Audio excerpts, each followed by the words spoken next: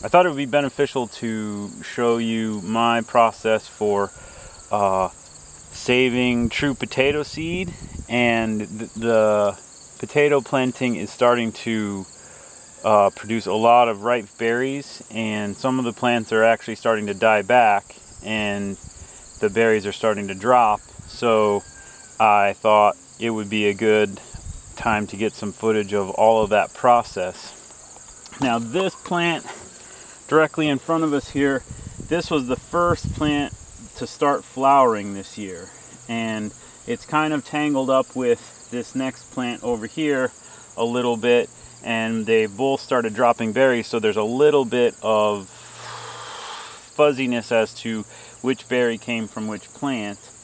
Um, but ultimately because potatoes are uh, cross all of these are probably cross pollinated especially since these two are diploid they're definitely cross pollinated so all of the offspring are going to be crosses so it doesn't really matter um, as much if you get some of the berries mixed together since I'm not a pro and none of them are going to be identical anyway. So basically all I'm going to do at this point is I'm going to harvest as many berries as I can from this plant. Now the thing about potato berries is they don't ever really look ripe um, particularly like even when they are have mature seed in them, they still have, uh, they're still hard and green and um, look, you know, like a green tomato oftentimes. Um, sometimes they'll have a purple flush. Some of these berries over here on this plant are actually completely purple. You, uh, I can show you those later. So, but then sometimes you'll see like a berry like this this berry right here is already mature and it's actually super soft and has started to rot and ferment uh, inside the plant, inside the berry. So that those berries are not going to get any more mature. Those seeds are not going to get any more mature. Now some of these are maybe not fully mature, but this plant you can see is starting to die back. It's got hopper burn really bad. Um, so I think it's time to just call it because even if I get a little bit of immature seed, you know, the amount of seed that I would be losing that's falling on the ground and dying is more than I'm losing by allowing the seed to just continue to sit around and um, now that definitely coming from a different plant but so but see like this one stalk on that is dead so there's no point in leaving it on the plant, you know. So you can see there, that's a pretty decent quantity of berries. I don't know if you can see, see how purple some of these are with the anthocyanin pigments. Um, we'll see once we harvest tubers off this guy what kind of uh, color the tubers are.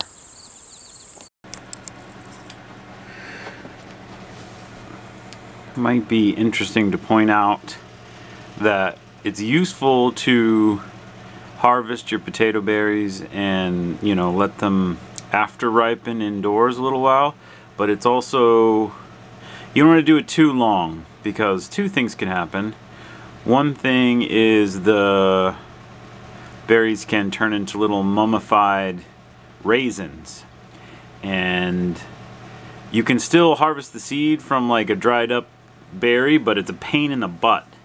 And then the other thing that can happen is what happened here, where some of the berries will, you can see, have liquefied. And then, I don't know if you can see all the little fruit flies that are happily colonizing this and the delicious potato berry juice. So these are pre-fermenting here and uh, that's not always appetizing. Um, I'm fortunate in that my wife doesn't mind this type of thing at all and is happy to have you know little jars full of uh, fermenting potato berries, breeding fruit flies anywhere in the house. She doesn't care. Okay, so we can do a little bit of TPS seed saving because I have a batch of some nice big tetraploid potato berries here which are going to be a good demo for it because potato berries are designed pretty much identically to a tomato. If you cut them open, you can see there's locules and then there's the seeds, you know, in the locules and then each of the seeds is surrounded by a packet of gel which contains seed inhibitor inhibitors, seed germination inhibitors. So what you want to do is remove those germination inhibitors. And the other method for doing that is one that Tom Wagner advocates, and he uses trisodium phosphate directly on the fresh, wet seed to dissolve the gel and wash it off. And that works fine. I've purchased TPS seed from Tom Wagner in the past, and it germinated okay. But I've also, early on, I received seed from other folks who had used the fermentation method and I found that, that the fermented seed germinated better and that's just anecdotal. I don't have any proof that that that, that actually is true but um, I just decided and then the other thing is trisodium phosphate is kind of a nasty chemical. I don't actually have any other uses for it and so I feel like this fermentation method is, you know, basically free. The only benefit that I can see to the T trisodium phosphate method is it's faster because it takes a few days to ferment the seed, but it's also essentially, uh, if, and if you have a lot of potato berries, it I don't know how Tom Wagner does it since he he does so many. To me, it's just so much easier to just set these up and let them ferment rather than washing all those potato berries with trisodium phosphate. But I haven't tried it either. But trisodium phosphate isn't so easy to come across. So really you can see what I'm doing here is I'm just squeezing out the gel and um, trying to get the majority of the seed. And you can see there's still a little bit of seed left on these berries, but most of it's getting squeezed out.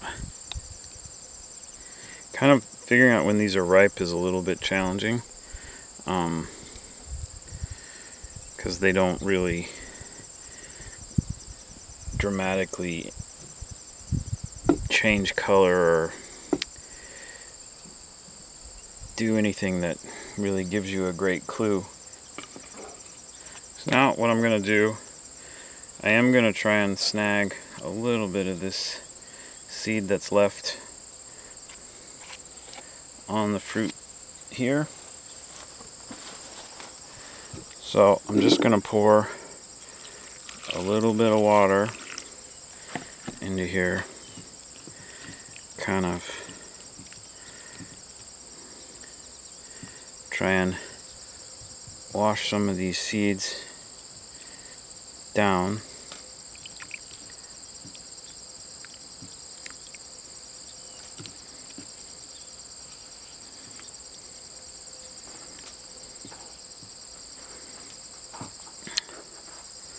So and then I can just pour that off.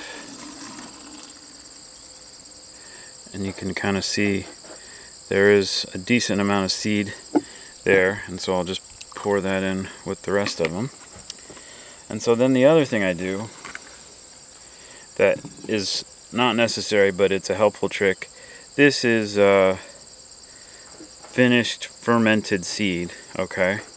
And so I'm just going to take a strainer and strain some of this fermented juice into this fresh stuff kind of kickstart the fermentation because um, these guys already have kind of the this this stuff has already got going. And so it's got bacteria that are already used to eating this gel. And so hopefully they can do an effective job and so now let me show you how to basically clean off this fermented seed. So mainly what I do is you just give it a little bit of a swirl and then pour off the gook. And you can kind of see there the seeds are all at the bottom. And then it's just a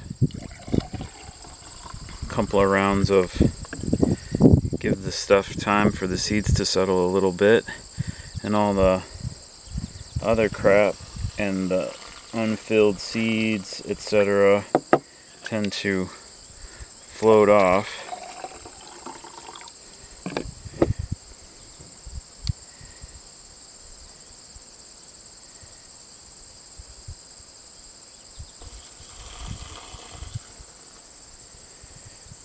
and you're left with reasonably clean seed. Let me get a little more.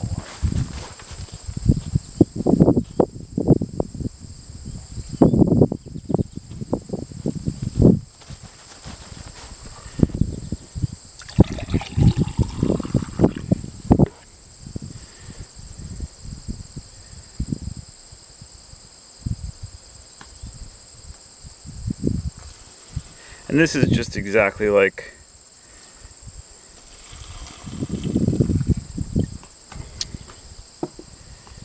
working with tomatoes. Exactly. So then, then all I do is take a little, you know, cheapo tea strainer. I think this is a dollar, dollar store tea strainer. And pour everything out and then I have my TPS seed with a little bit of junk um, processed. Then what I do is I just take a piece of notebook paper and tap out the seed onto the notebook paper. Maybe spread it a little bit.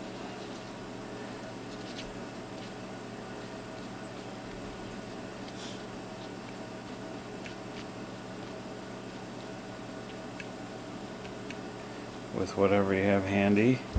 I'm not suggesting a screwdriver, it just happened to be right here.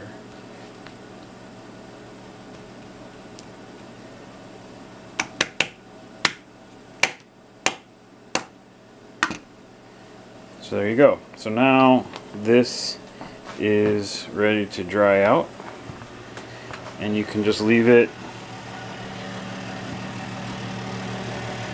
out somewhere to dry. I happen to have an Excalibur dehydrator running because we're doing some calendula right now.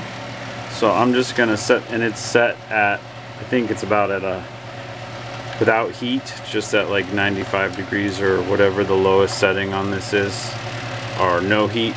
Um, so I'll set it on the top tray in there with the calendula and that should be dry very very quickly.